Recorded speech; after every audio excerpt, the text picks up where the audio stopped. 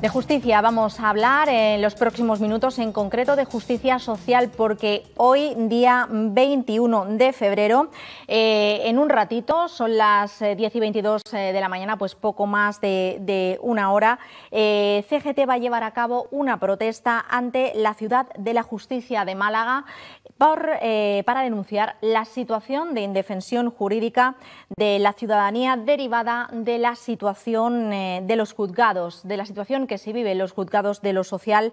en nuestra comunidad autónoma, una acción que se suma a la que se realizó en Sevilla eh, el pasado viernes eh, y todo girando en torno a la conmemoración del Día Mundial por la Justicia Social que, como les decimos, se conmemoraba eh, este, este domingo 20 de febrero. Vamos a hablar de este asunto y lo vamos a hacer con el secretario general de CGT en Andalucía, Miguel Montenegro, al que saludamos. Muy buenos días, Miguel.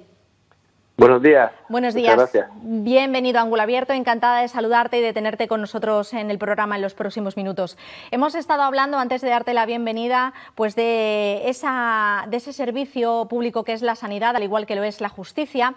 Y lo que te quiero eh, preguntar para, comenzar esta entrevista es eh, pues bueno, que nos cuentes cuál es la situación en estos momentos de los eh, juzgados de lo social en Andalucía. Habláis de caos. Sí, es una situación absolutamente caótica. Podemos dar fecha y casos concretos. Eh, cualquier persona que ahora mismo sea despedida, pese a que la ley reguladora de la jurisdicción social nos dice que hay unos plazos muy cortos y en el plazo, eh, y en un periodo de aproximadamente un mes se tiene que haber visto su procedimiento, pues estamos viendo cómo hay señalamientos ahora para el año 2026, 2025, eh, demandas por vulneración de derechos fundamentales que deben ser sumarias y preferentes, pues están yéndose también tres, cuatro años. La verdad que es caótica la situación de la justicia, un servicio público que también está siendo denostado para eh, que las manos de la privatización caigan eh, sobre ellos y eh, lo peor de todo es que esto está afectando gravísimamente también a los derechos de los más débiles de la clase trabajadora que bueno eh, estamos viendo cómo también por la parte de la justicia pues nos quedamos absolutamente a merced de los empresarios que están campando a sus anchas conocedores de esta lentitud de la justicia que les beneficia absolutamente. Hablamos de la justicia social que consideráis desde CGT que cada vez es menos eficaz. Hablas de esos señalamientos de juicios que para las personas pues, que nos están escuchando y que no sepan qué es un señalamiento, pues es la fijación del día y la hora de esa cita en los juzgados, que como estás explicando, pues es a años vista. Pero em, hay que decir una cosa, Miguel, existe una ley reguladora de la jurisdicción eh, social que establece los plazos, que deben de ser de días, con lo cual eh, se está incumpliendo por completo ¿no? esta ley. Sí, es curioso y además muy llamativo. Cualquier ciudadano o ciudadana va a poder entender que si la ley es igual para todos, también debe serlo para las administraciones. Y sin embargo, pues eh, la propia administración, que es la que hace esta ley de la reguladora de la jurisdicción social, no pone los medios ni pone eh, los recursos para que se atienda las eh, necesidades mm, en materia jurídica de la ciudadanía. Y bueno, pues estamos en una situación de absoluta indefensión. Lo que diremos que el derecho eh, fundamental a la tutela judicial efectiva está siendo puesto en entredicho por parte de las propias administraciones del propio gobierno. Miguel, eh, ¿cuáles son las causas desde CGT, al menos las que vosotros consideráis que eh, están generando pues estos, esta ineficacia de la justicia social, este retraso en los señalamientos. Cuéntame. Bueno, pues desde luego faltan recursos, tanto humanos como tecnológicos. En cualquier domicilio tenemos hoy día más recursos tecnológicos que tienen en eh, cualquier eh, ciudad de la justicia, en cualquier órgano judicial. Y eso no es ni más ni menos que un abandono por parte la administración de este servicio básico público que diremos por otra parte que va a ser otra de las reivindicaciones estrellas que llevemos el 28 de febrero en la manifestación que desarrollaremos en Cádiz porque bueno pues defendemos todos los servicios públicos y especialmente nombramos a la situación de la justicia por esa indefensión que nos está causando a toda la clase trabajadora. Miguel, pero también apuntáis desde el sindicato a, la gestión política, ¿no? Eh, como causa de esta ineficacia eh, obligada de la, de la justicia social. Sí, desde luego, quien tiene que dotar a los órganos judiciales de recursos y de medios es la propia administración, en este caso el Ministerio de Justicia y la Junta de Andalucía en la parte que toca a los eh, inmuebles donde se tienen que fijar los órganos judiciales y bueno pues la carencia tanto de eh, jueces como de profesionales en los distintos órganos judiciales pues es eh, absolutamente clara. La, la falta también de espacio para que se puedan ubicar órganos judiciales también es evidente y luego, bueno, pues la falta de que la tecnología, de que se, eh, imponga la tecnología para acelerar eh, los procesos, pues también. Desde luego, entendemos claramente que es un eh, olvido a conciencia de fundamentalmente lo que toca a los trabajadores y trabajadoras, lo que es la justicia social. es un olvido a conciencia porque en ello le va muy bien, como decía, a toda la patronal, a todas las empresas que eh, vienen campando a sus anchas y también en materia eh, de justicia, pues desde el gobierno o desde los distintos gobiernos se les viene haciendo el juego en contra de los intereses básicos de la clase trabajadora. Miguel, eh, según vuestra consideración, la consideración del sindicato CGT, ¿creéis que existe una voluntad de política deliberada para denigrar la justicia como servicio público? Estamos totalmente convencidos, si no, no sería posible que estemos viendo pues espectáculos como los que se están produciendo, que después de cuatro o cinco años esperando a un juicio, eh, te digan que se tiene que suspender porque se ha determinado este defecto o este otro, porque la empresa ya no existe, porque eh, en definitiva esto es eh, totalmente deliberado y es gravísimo, porque insistimos, la ley reguladora de la jurisdicción social marca unos plazos muy estrechos que se incumple a diario. Y eso es lo que eh, queremos clamar para que toda la ciudadanía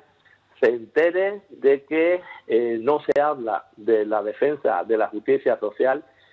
como un derecho básico de los ciudadanos y ciudadanas que tenemos que seguir eh, influyendo para y diciéndolo y alzando la voz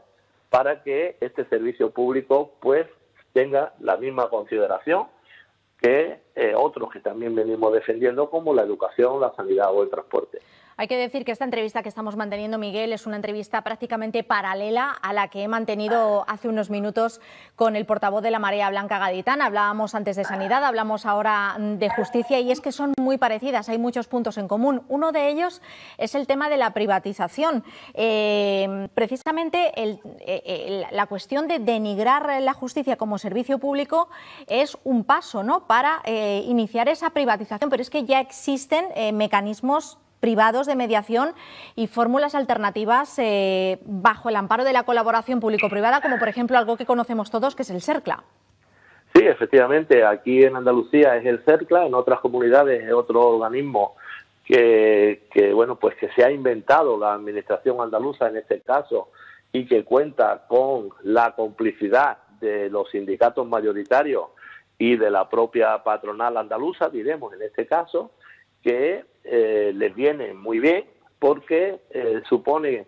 mm, situar a personas liberadas en exclusiva para este tipo de mediaciones, supone sustituir al personal funcionario eh, por estas personas de los sindicatos y de la patronal para esa gestión de la mediación y es un paso de privatización claro porque cada uno de esos actos en el CERCLA supone un, unos ingresos eh, bastante suculentos tanto para los sindicatos como para la patronal andaluza, que hay que decir, por otra parte, que la patronal tiene tantos liberados y liberadas como estos dos sindicatos mayoritarios. Con lo cual es un negocio eh, que se está haciendo en torno a la justicia para intentar evitar que se llegue a los juzgados pero que mm, lleva un ánimo de lucro absoluto detrás y que, bueno, entendemos, pese a las cifras grandilocuentes que se nos dan de, llegar a acuerdos en estos órganos y demás, entendemos que eh, no es la solución para los trabajadores y trabajadoras. Y además diremos que la pasada semana mismo se ha aprobado un nuevo reglamento del CERCLA y que CGT hemos tenido que impugnar puesto que entendemos que ya se rebasan todos los límites e incluso se quiere eh, atentar, se quiere aceptar a que cualquiera, cualquier organización pueda hacer una convocatoria de huelga sin pasar por este organismo de mediación cuando no todos los sindicatos ni todos eh, los entes que están facultados para hacer una convocatoria de huelga tienen por qué ir a este órgano, sobre todo porque, entre otras cosas, no queremos que se enriquezcan unas organizaciones sindicales que no representan a la mm, gran mayoría de, los trabajadores y trabajadoras y mucho menos que la patronal se enriquezca con los propios conflictos que ella genera. Miguel, estamos hablando, girando en torno todo el rato de una idea que es eh, pues bueno, la pérdida de eficacia de la justicia social eh, y me gustaría poner sobre la mesa ya lo que supone eh, el colmo de los colmos, ¿no? que es que con el retraso judicial generalizado que, se está dando, se articula un mecanismo gratuito de financiación para quienes optan por incumplir la ley. ¿Tú nos puedes explicar esto? Sí, pues eh, en definitiva, eh, quien cumple, los empresarios que incumplen la ley, pues están viendo, he puesto anteriormente un ejemplo, no están viendo cómo este retraso de la justicia, pues les está eximiendo, pues de no solo de cumplir la ley, sino de cumplir con sus trabajadores y trabajadoras. Eh, en, muchos casos, cuando se ha llegado el momento del juicio, tras tres o cuatro años esperando, pues la empresa ya ha desaparecido o la empresa no es que haya desaparecido, le han cambiado de nombre y el trabajador y la trabajadora son los que vuelven a quedar indefensos y sobre todo a quedar en manos de que eh, el Fondo de Garantía Salarial se tenga que hacer cargo de parte de unas retribuciones o de unos ingresos que tenían que haber eh, pagado los empresarios y que al final va a revertir directamente para que con dinero público tengamos que eh, mm, eh, tengamos que sufragar estas cuantías por estas maniobras orquestales, diremos, de la patronal que se la saben todas en este aspecto y que, como decía, tienen toda la ley de su parte y ahora, incluso eh, teniendo la ley reguladora de la jurisdicción social, por el caso que nos ocupa, unos plazos muy cortos para que se vean los procedimientos, sin embargo, la dejadez de la clase política respecto a la justicia social, pues está haciendo que no se cumpla esa ley y que eh, al final, bueno, pues nuevamente, como decían los trabajadores y trabajadoras, seamos los grandes perjudicados pues de, este eh, teje-maneje, diremos que se tienen y que, insisto, tienen a la clase trabajadora en absoluta indefensión. Pues eh, Miguel Montenegro, te agradezco muchísimo que hayas entrado por teléfono un ratito antes de esta movilización, que como decimos se celebra en esta ocasión en Málaga a las once y media de la mañana para protestar precisamente por eh, la situación de indefensión jurídica derivada de la situación de los juzgados de lo social. Muchísimas gracias por estar con nosotros. Pues, pues nada, gracias a ustedes y animar a todos los gaditanos y gaditanas a que el 28 de febrero nos acompañen en la manifestación por Cádiz para reivindicar también una justicia social justa para los trabajadores y trabajadoras. Nuestras cámaras estarán allí, Miguel. Muchísimas gracias. Gracias a ustedes. Hasta luego. Un abrazo.